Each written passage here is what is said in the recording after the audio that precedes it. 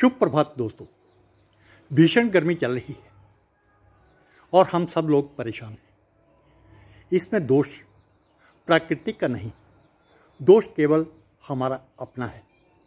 हम इंसानों का है। इसलिए हर आदमी एक वृक्ष लगाइए।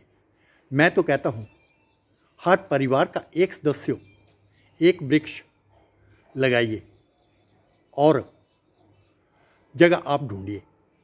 अगर नहीं, कहीं भी जगह है तो गमलों में लगाइए। वृक्ष ही हमारा जीवन है। वृक्ष ही हमें ऑक्सीजन देता है। वृक्ष ही हमारी बारिशों का सर्कल बनाता है।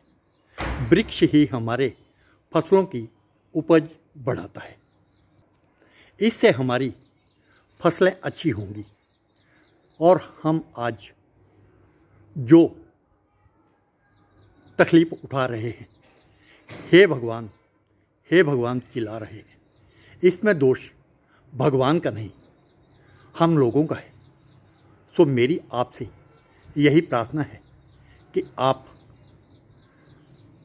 हर आदमी एक वृक्ष लगाइए और गर्मी से छुटकारा पाइए। दोस्तों, अपना ध्यान रखना, गर्मी बहुत है। आपका हर पल शुभ हो।